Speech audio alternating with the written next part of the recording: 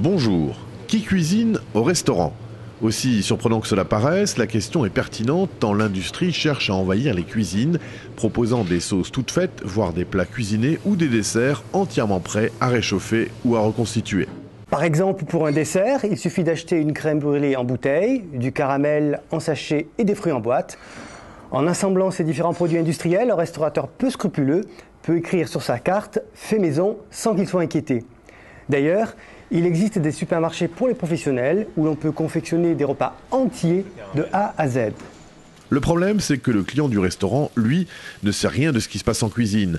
On lui fait parfois passer des plats préparés pour du fait maison. Depuis peu, la plaque maître restaurateur garantit au consommateur une cuisine faite sur place par un professionnel.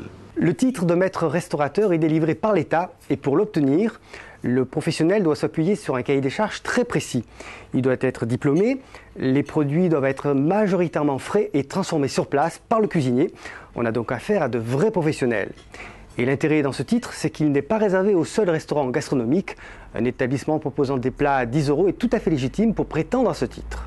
Il existe une centaine de maîtres restaurateurs en Alsace, comme ici le Cheval Noir à Eunheim. Restaurateur ou réchauffeur, y a-t-il quelqu'un dans la cuisine? C'est le dossier du consommateur d'Alsace qui vient de paraître. À la semaine prochaine.